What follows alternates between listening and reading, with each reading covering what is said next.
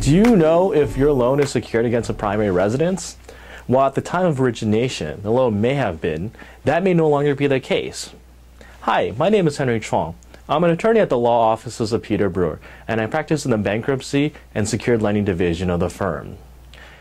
This week I wrote an article about a case that was decided this year from the Bankruptcy Appellate Panel. Under California and federal law, a loan secured against a primary residence is determined at the time of getting the note.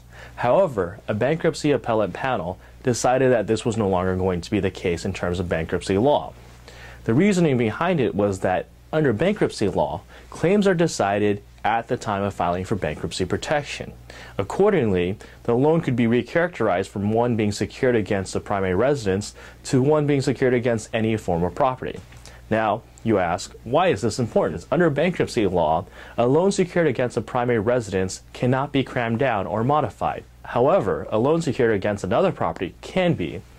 In this case, the court held that because a person had moved out of the property prior to filing for bankruptcy protection, that loan could be crammed down and reduced.